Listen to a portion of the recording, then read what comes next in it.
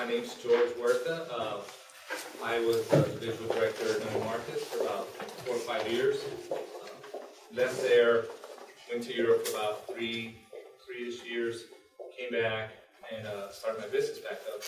Uh, a little bit about my history of education. Uh, I was actually a civil engineer major at A&M. I didn't like it. I was more artistic.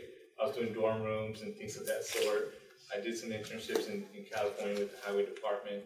Uh, I was testing rocks and asphalt and things like that, doing uh, exams. And, uh, but it was interesting, while I was in there, I was doing sculptures and different things with asphalt. And people said, are you sure this is what you want to do?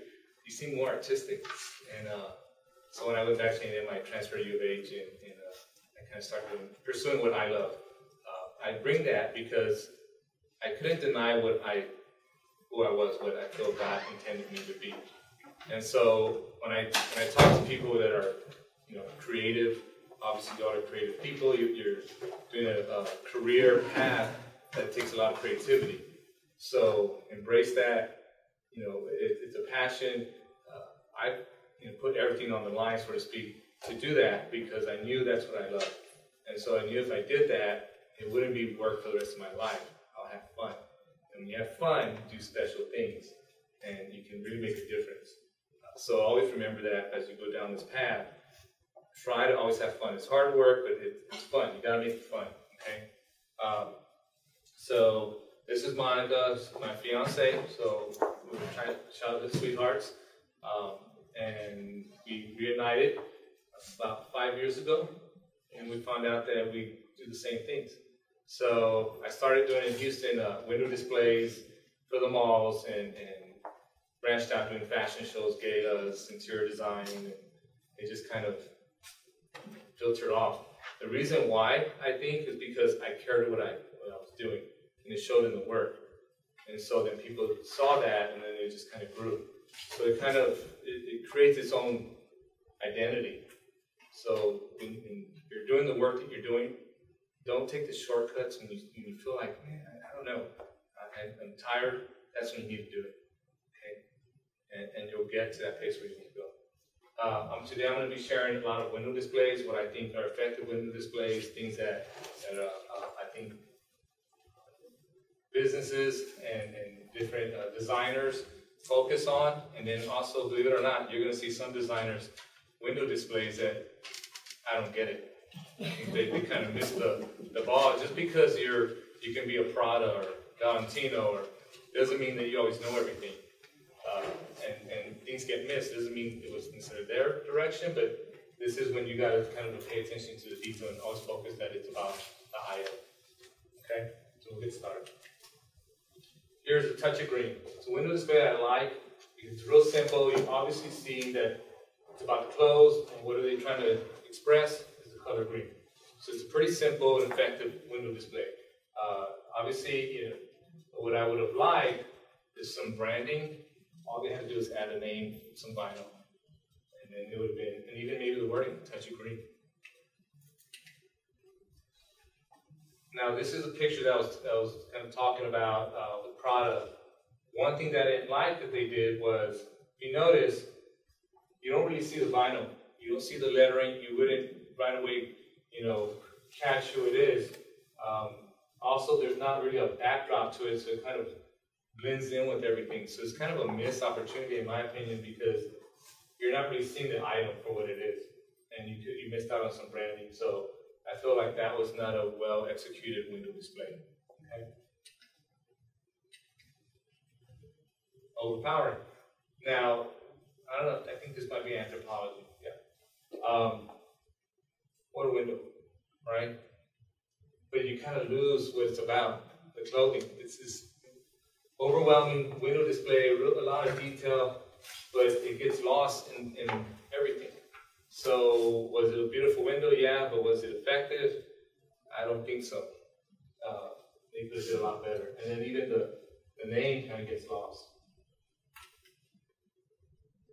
Simple goes a long way. Balloons, some birds, it really, it's, it's a, a, effective way of, of displaying and clearly you see that it's about the scar. pushing the brand. This was interesting, I, when I saw this, I, I know we talked about a lot of stuff, a lot of uh, overpowering things. This is somewhat overpowering, but if you know Etro or Paul Smith and, and Hermes and some of these brands, Versace, you know them by their patterns. So obviously this is, you know, really pushing the, the pattern of, of who it is. So I think they did a great job in, in really focusing on what they do best. And, and this is a Etro window. So I really appreciated that they pushed their brand in the pattern. Uh, I, I think they did a good job on that. I recognized it right away, right away. So and it helps that it was real colorful. So I think that at the same time, even though it's overpowering and you wouldn't see too much of the clothes kind of blends in, they really push the brand into pattern. Color contrast, you have the, obviously the white, beautiful dress uh, with that green, so it just pops that color contrast. Not to mention the dress is fabulous.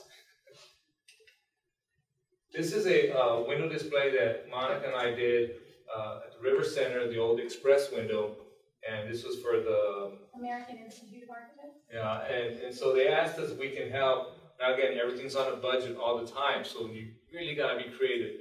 So what we did was these giant uh, four by eight panels. We took different time periods. We put the vinyl to communicate it. We did these kind of magazine covers. Now again, this is an angle. We're at the street level, so we couldn't get like really a front shot that well, but you really see it straight on. You really see the message. It was very effective, and we had the, the colors changing every, uh, things like every five minutes, so we changed it to blue, to green, to a white. So it still kept a lot of interest, it felt it was different, uh, but it really communicated what the event was about.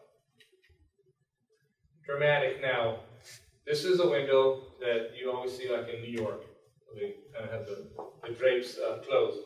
Now obviously it's overpowering, and you would say, well, I really don't get what the message is or the main purpose for them is to reveal this dramatic display and just to get you to that location. And then after that, that's that's what they want. And then you're going to go inside uh, more than likely. But uh, this is something that's just real dramatic. They want you to spend time looking at it, finding things, uh, just spending time at the location and get you there. It's a beautiful window, but it's not really to push necessarily product. They just want to create interest and get you to that point. Pattern. I love this Versace window. Obviously, the clothes it's it's uh, dramatic and, and clean, but how the pattern just draws you in. So it's a, it's a beautiful thing when you're working with, with clothes, windows, any kind of uh, material that you can create where the eye moves, where you want it to go, uh, how you want to feel. But I, I love this window, how the pattern just brings you to the center. Uh, texture and color. Now, this is something that I do a lot. I'll take elements that, that are fairly cheap. I would, probably in this case, I would, I don't know if this would, that is, but I would take like foam, I'll cut it with a heat knife, paint it, and just stack it, and that would have been a great window. You could play with the line, put some on the wall. But I like the idea that they, that texture and the color that really brings out the, the feel that you want. Uh, I think this is an Anthropologie window. Uh, pattern and style. One thing that I like about Tory Burch, you know when you see it. You know when you see Tory Burch. You know they have a certain style, certain pattern. Again, they're pushing. Uh, the storefront obviously has the, the colors and their branding, uh, but even with the windows and the, and the, shapes that they have, it's very Tory Burch. Uh, I think they they do a good, a good job in communicating that from, from inside the store and out. Me, I like to get inspired a lot by Versace uh, Versace, Prada, all these uh, people have a, a, certain style and, branding. But what I love about Versace is that the, co the color contrast and the detail is just fabulous. And uh, anytime I can use that in a window, uh, I take the opportunity. It's a, a, find something that inspires you. When you when you go into a store or merchandising, find that piece that has interest, then add to that. Make it that, an accessory, make it pop, uh, something that you can get inspired and then get you motivated to continue. Uh, when you're merchandising, don't always just think about the clothes, think about the accessories. A lot of times, uh, when I work with different stores and we look at numbers, we always evaluate, you know, everybody always seems to talk about you know, the clothes, but so little do they focus on the accessories, and I think it's kind of a missed opportunity. That could be the one that makes your your year, uh, and you got to make that moving it. But accessories can make the outfit too. So I really love that on this one, the Tory Burch, that they really showed a lot of accessories. Uh, I think they did that more likely for a purpose that they were trying to move some of that so people know they have it. I think it's important that you not only do a window display, but you see what the needs of the business is. And everything you're doing, you got to find out why, because at the end of the day, it's a business. Okay?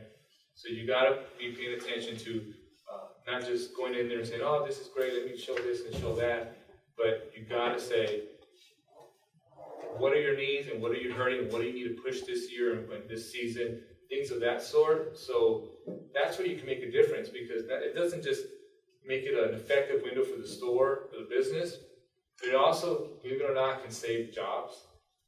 Uh, um, it can uh, make the success of the business, for the owner, uh, to believe in some of these things, and then it gives you some empowerment to, to do more of a, a voice of what suggestions, you know, that they can go.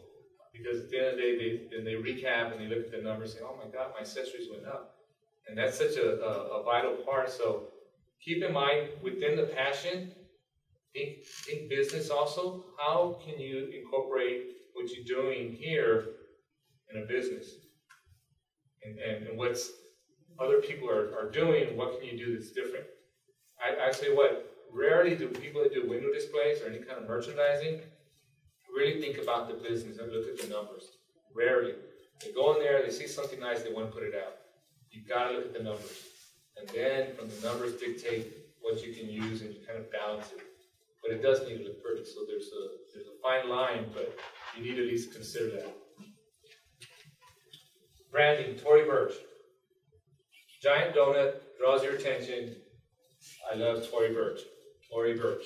They want you to see Tory Burch, the name. Okay? So I love the idea that they obviously did this to get your attention and then to look at Tory Burch.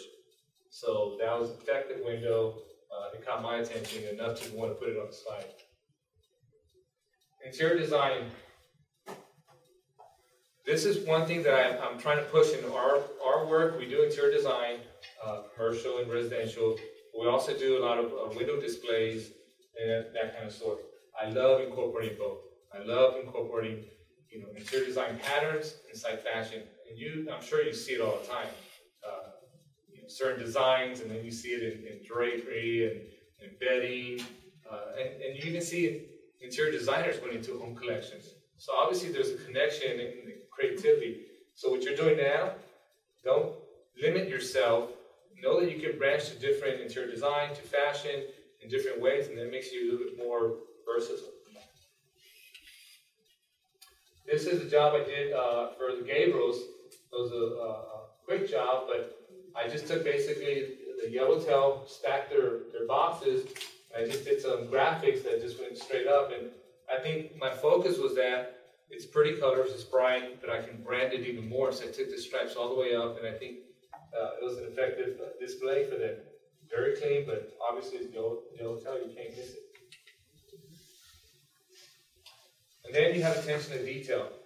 This is a, a Tiffany's window. The jewelry is very small, obviously, uh, but it's all in the detail. So when you look at their displays, you can tell that everything's just perfect, perfect when they, they execute it, uh, the lighting, uh, everything you see there is attention to detail. Um, I actually did the window displays last year for Tiffany's La Cantera, and I'll be doing it this year as well. So I'm excited about that. Um, even though we have a business, I'll, I'll freelance. People call me up and say, "Can you do our, you know, some of our windows?" And I just love it. I always kind of go back because I don't mind doing that kind of, I say, labor work because it's fun. And when you see the end product, it's just you gotta make it fun. So uh, this is for me. I'm excited this year uh, to do their windows again. Do y'all ever uh, take the opportunity to look at the Tiffany windows, La Cantera? Anybody raise their hands? Aren't they great? When I was in Houston, I used to go to the Galleria just to look at their windows. That's fine, for me it was a field trip. Uh, this is one we did for also the Gables, uh, and I thought, uh, you know, let me try doing a magazine cover, uh, front, and I wanted to communicate, uh, get people's attention, so I just kind of put the sayings and did a graphic, and really kind of kept it clean to something that could stand for a long time. And then, uh, this is a Neiman Marcus window. Obviously, it's real simple, real clean, lighting's uh, obviously critical. Most of Neiman's windows are very simple and sophisticated. There's a couple of reasons for that. Obviously, they want to focus on the clothes, but they change them out every week.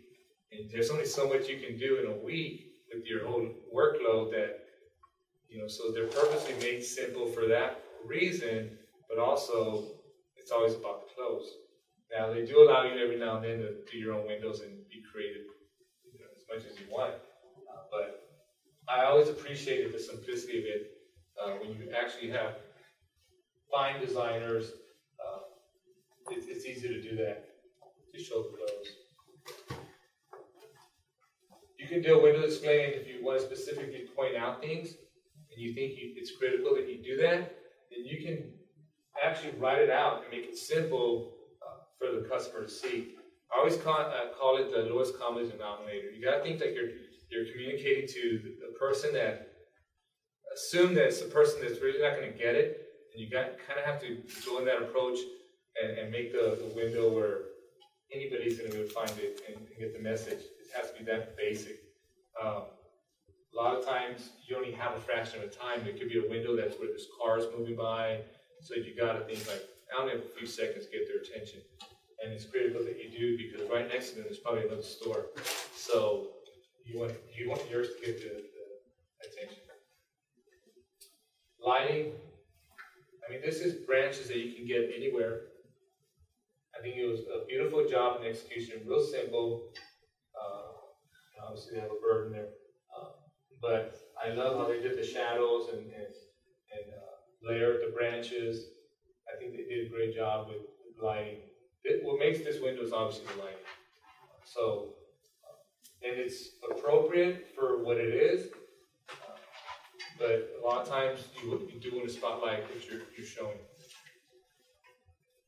This was kind of whimsical. I, I like it because this is an easy one for, for a window display. Get some foam core, get a trans, you know projector, transparency, draw your your whatever you want, a Paris uh, buildings, uh, light posts, and you can have a fabulous window with the garments and the color is just going to pop.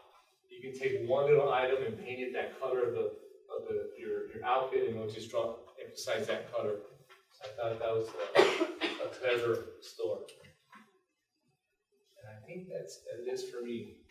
Monica's next now. But uh, um, did y'all have any questions or anything about the displays? What are you doing with Tiffany window? I'm installing that. I want to say this the first week in November. Yeah, that should be. But yeah, do go look at it.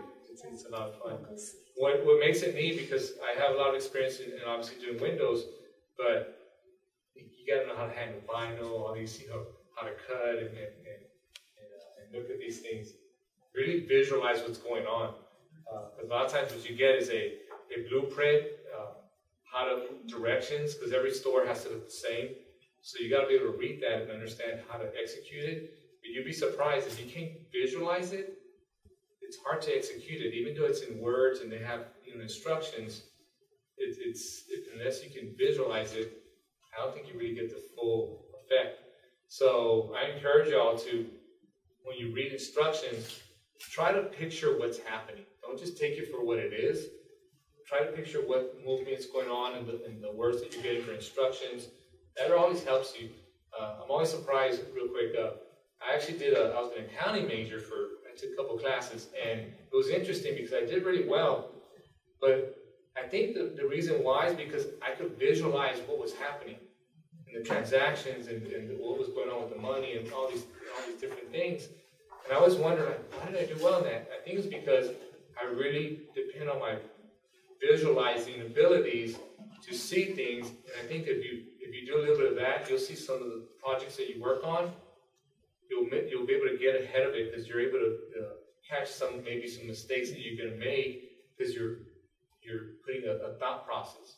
So it's about thinking and creating, but uh, I think visualizing is very important.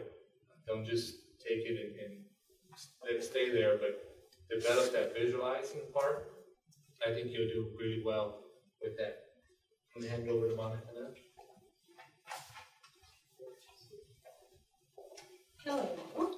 I, um, my name is Monica, and I uh, came to Incarnate Word, and I studied for many years. I used to take four buses a day, right in the front, wait for it to pick me up, and I got my degree, and I went into the workplace, and while I was working, I noticed that I um, wanted to evolve, and I wanted to experience things that were better, and I wanted to see how I could take a transition from interior design into other places. And I enjoyed it. I did the parade of homes, I worked with the firm, it was great.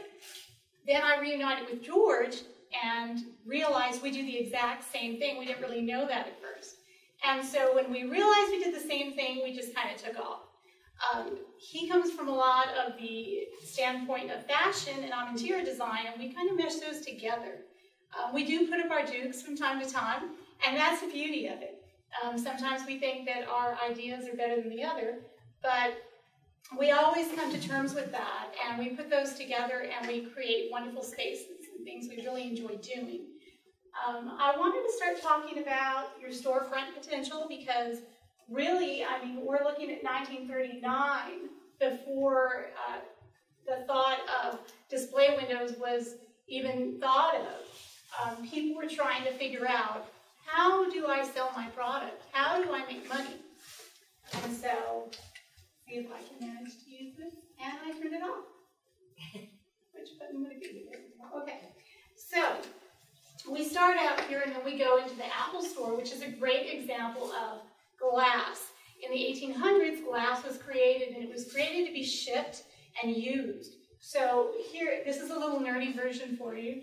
Uh, this is a great example of how we can use glass to display. And so the idea before even the Apple Store in the 1800s was, if I use glass as at my storefront, how can I uh, put my product in there for everybody to see, and how can I make my product sell?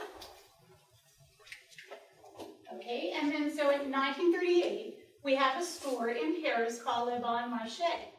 And this store was the first idea and concept of taking all kinds of products and goods and selling them, kind of the, the owner thought of a town within a town.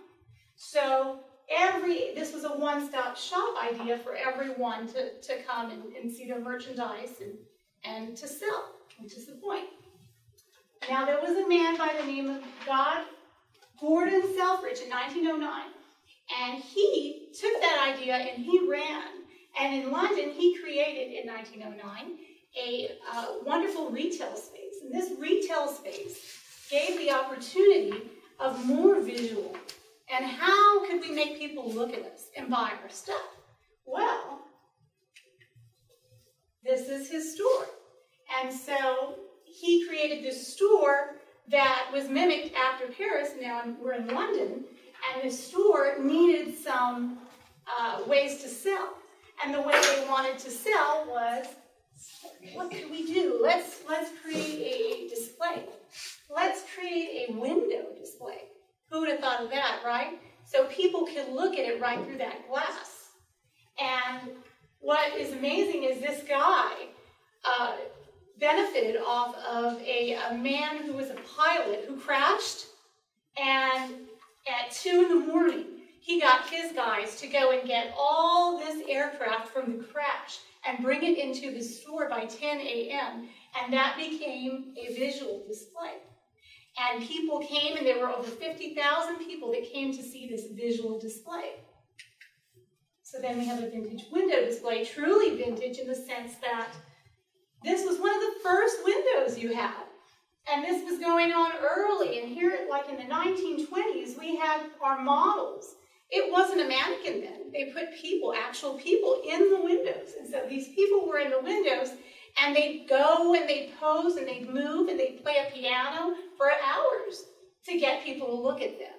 And here we have a wonderful essence of what it, it comes together when you have people and things and product. So all these things you see are giving attention to a product. And, um, and it all comes together eloquently.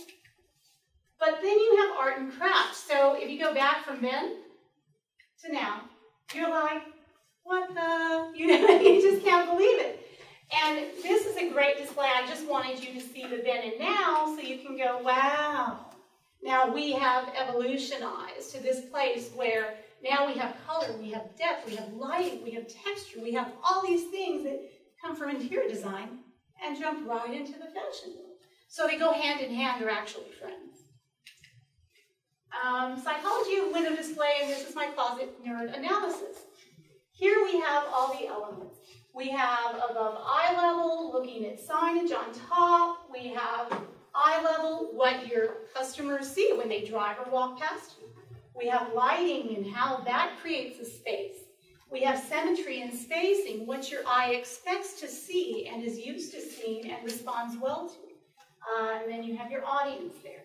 And then the elements, of course, of designer window displaying, which sell your product ultimately. So I'll go over a few of those, um, or all of those.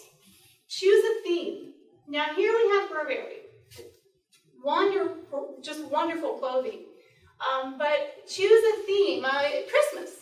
But instead of Christmas, think Nutcracker.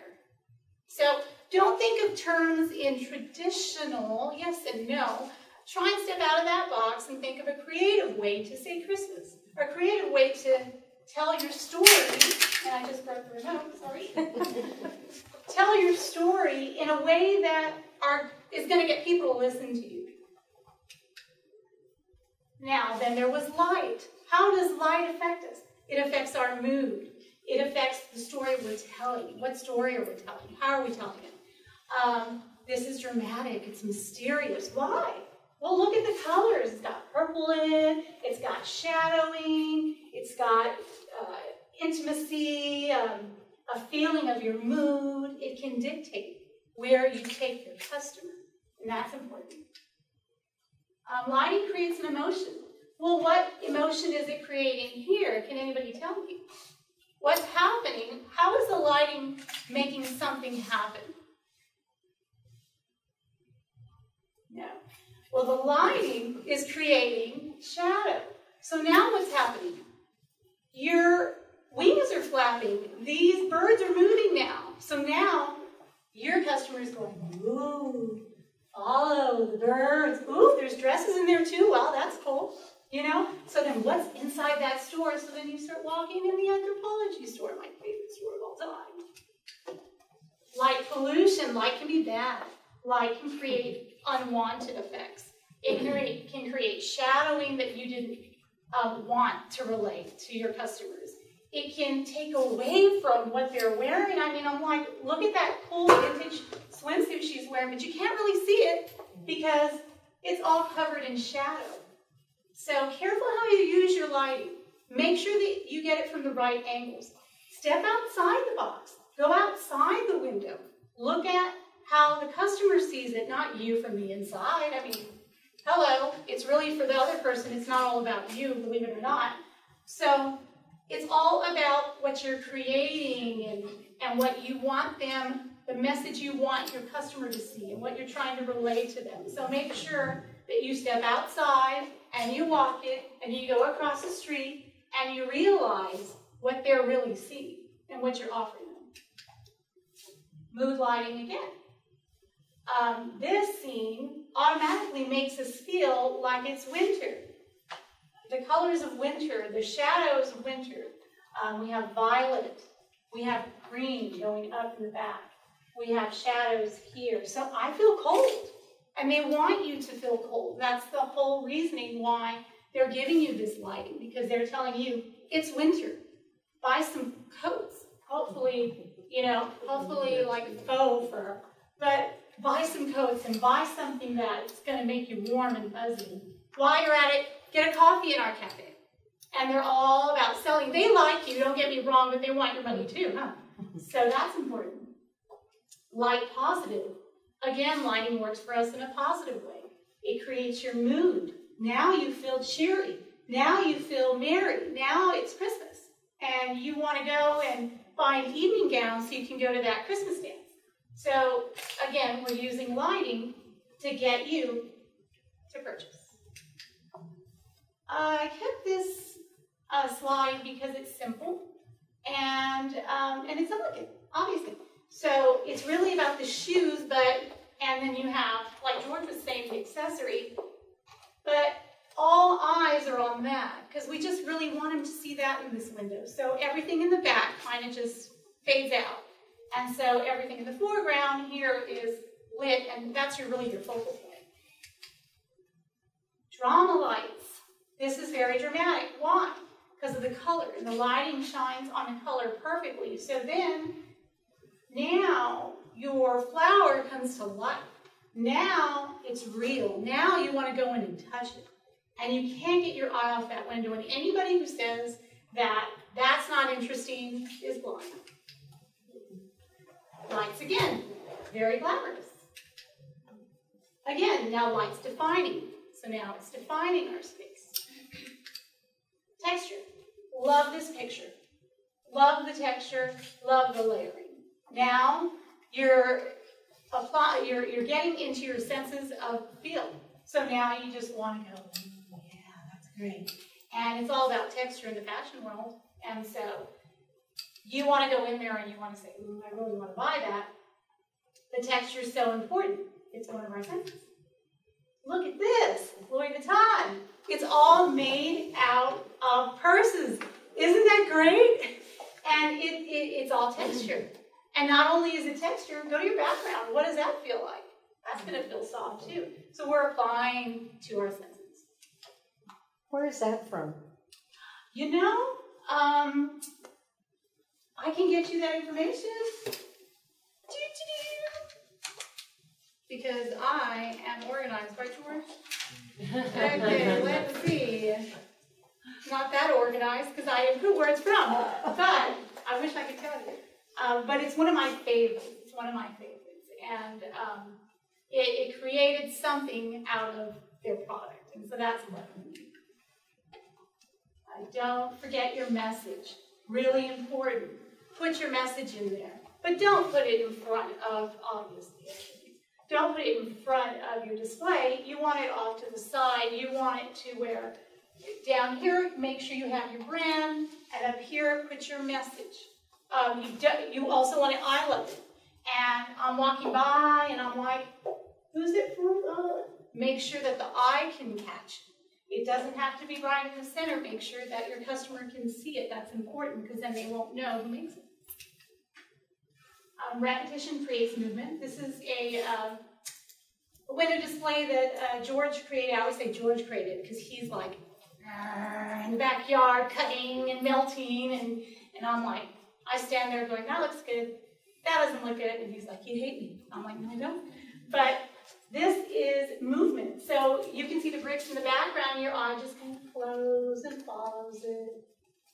Was that at Meadows? Yes. Okay. And that's on the or almost. Movement keeps the eye looking for more, so you, you, you keep looking for more. Your eye is trained to follow movement, and so it'll just keep going. And movement creates visual interest. That's we did. That was fun. Keeping us enticed keeps you enticed. That means it won't let go of your eyes. It keeps you in there. It grabs you and it holds you, and you don't even know it's doing it.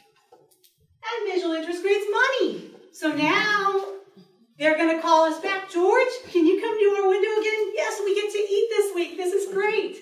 It'll keep coming back. The money will keep coming. You're not only is the person that you're doing the window for, your boss, is happy, but you're happy, and it's a win-win. Repetition. I loves repetition. All these are elements of design. Funny thing, who would have known, right? When I just started, I was like, George, do you really know what you're doing? I think I'm better than you. He's like, no, I know what I'm doing. He really knew what he was doing. They mesh, they go together. Repetition, your eye is used to repetition. Go in threes. Follow those. They went in four here. That's okay. Love the skirts, but love the colors, but my eye's going repetition. Again, repetition in threes. Bags, shoes, gloves, love it. Simplicity. Focal point demands attention. Focal, have a focal point, something that you're going to get their attention with, something that they can concentrate on, whether it be the bag, whether it be, oh no, what did I press? Back. George, I'm going into no man's land here. you know how to use this? Eric. It's.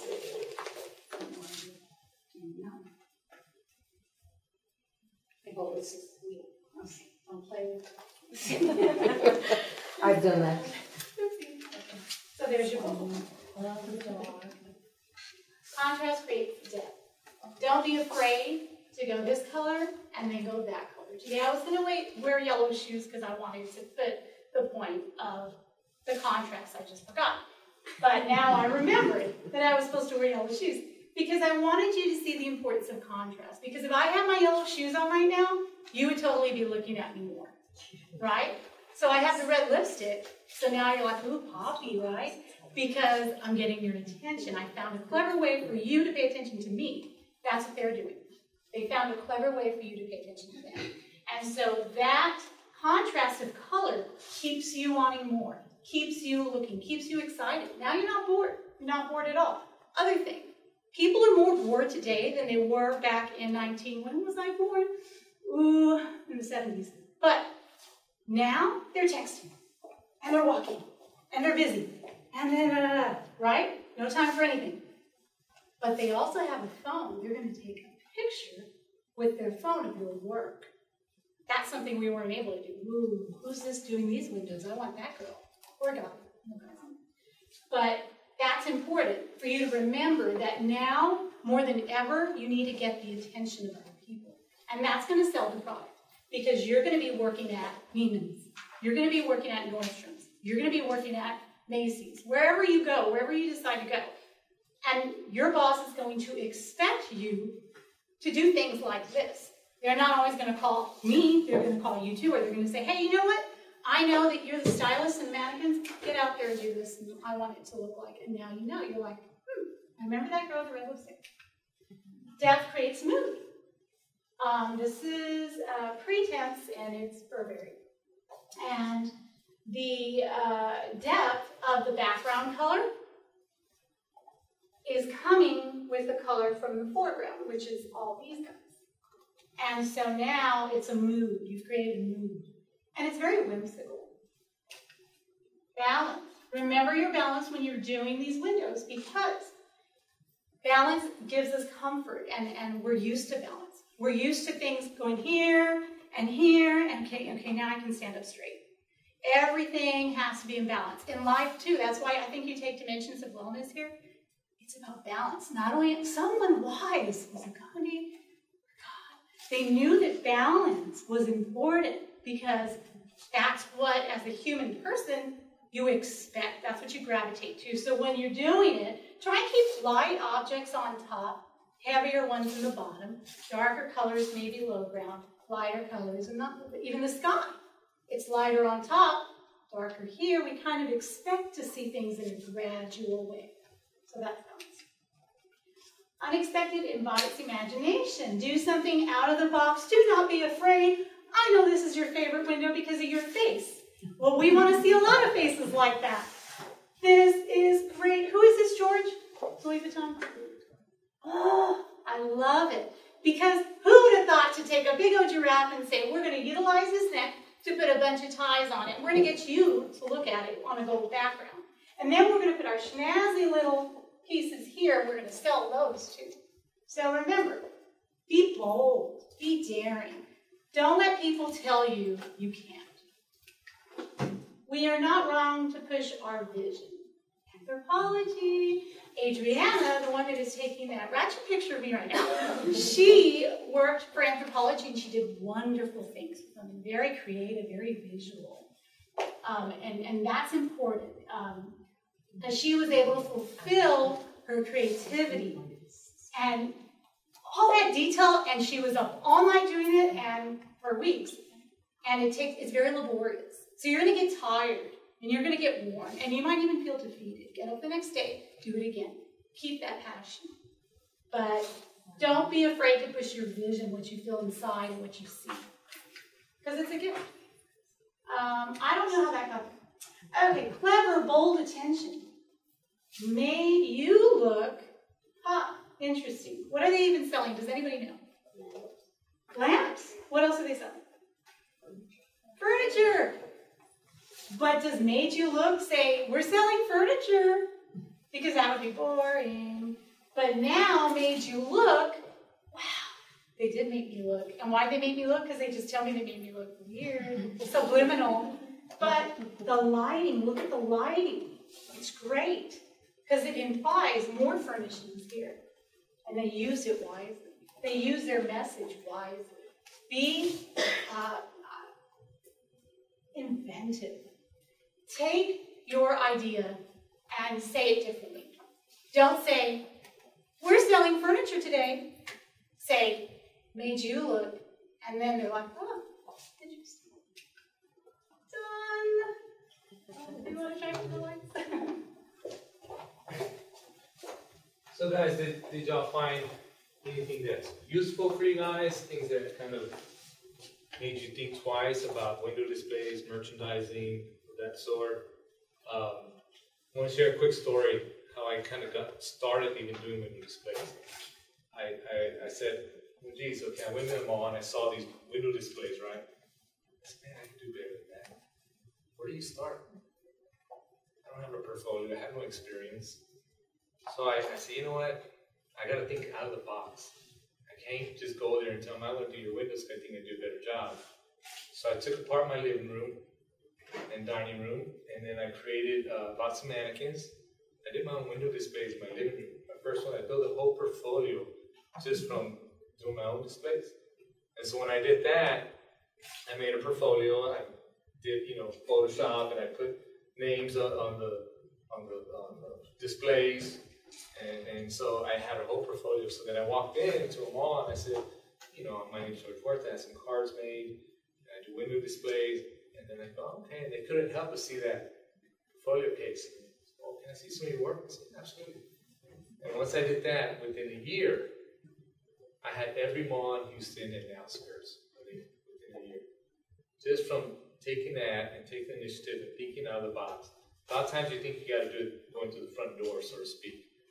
There's the back window, there's the you know, back door, there's other ways to get in to where you want to get in and communicate what you can do. Be creative, even in your classes. You know, your this is kind of your, if you will, uh, your competition, right? And so, what are you going to do to show what you what's in your head and what's in your, your passion? So keep that in mind because I kind of had to do that and figure it out. You know, I wasn't just going to walk away and say no. You know, I'm gonna. I, there's I don't even know where to go. No one's gonna give me a job. I have no experience. I said, you know what? I could say a lot with a picture, a thousand words or more. So I said, I'm going to show them a lot of words in these pictures, and if they like what they see, then they'll get to work. And that's kind of really how I got started. You tell them how you got to Neiman Marcus after that. So you, But yeah. we just have, uh, no, three to five minutes, but I want you to also tell them about the job y'all did for Anne. Oh, Oh, yes. Lawn. We We had- actually gave them a job, Yeah. opened up a lead for them. through this uh, w- w- a talk that we did, uh, there was one of the students, and Who was paying attention, taking notes on that. And so she, uh, through a process and blessings, if you will, uh, you know, gave us a call and said, you know, I want to open up a nail spa, De Lawn, across from the rim, and would y'all be interested in helping us? So we started that dialogue, and so we, you know, uh, in the story, we ended up doing a, their nail spa. Our very first huge commercial job to us, that was huge, because it was Yeah. from the ground up. It was ground up, so we did the It was whole a shell, layout, plumbing, architectural plans. electrical, everything, architect, everything involved in that was, was, good. Yeah, and it helped that like I had some of the engineering background because I was able to catch, believe it or not, a lot of cost saving things that even the, the foreman wasn't really catching, and so we did, uh, you know, real, I feel real benefit for them and what they have. Uh, if you do get a chance, it's called Emmy Nail Spa, it's Elon, you know. Not Elon, but Elon across from uh, yes. Super cute. It's not what your typical nail spa. It's kind of it's modern French and modern. French modern. So uh, I think you, you know, it's definitely different. Um, so, but you never know. It's called Ames. No, Emmy. Emmy. E E M N M M E. E. Oh, okay. What what I was going to say too was one of the hardest things to be successful is just showing up. That's you're halfway there. You coming here, deciding to be in school and, and pursuing what you love, you're already halfway there. That's half the work, just showing up. Once you show up, that's you're 50% there. Do the work, be passionate, it works out. You just gotta believe. Don't don't give up. You know, always think also business. Think about how you can apply it. And be realistic about that. Then you're gonna be a starving artist. Right? I mean, it's true. So you gotta be balanced in thinking business, but at the same time, how can you, you know, make a difference and express the things you want to do? Um, so keep that in mind. I share that because I went through a journey myself, and there was a lot of times I could have said, you know what, I can't do this, or you know, people are turning me down. And I used to go uh, in Houston, get dressed up just like this, get my portfolio that I made, and I wouldn't come back until I got one account. I don't care what account it was. I don't come back home until I get something. And that's what I did. Every day until I got, you know, a job, I would come home. That was my goal. And if I got it in one hour, I wouldn't go after another one. I said just one a day. And I quit. And then I had to stop because then you can have back growth. You know. So anyway, it's a, it's it's a lot of technical, but uh, point I'm trying to make, don't give up. Okay, think out of the box. Think the back door of the window. And if you want to check out the things we do and some of the projects that we've done, um, She and Him Designs is our business, and you can find us on Facebook.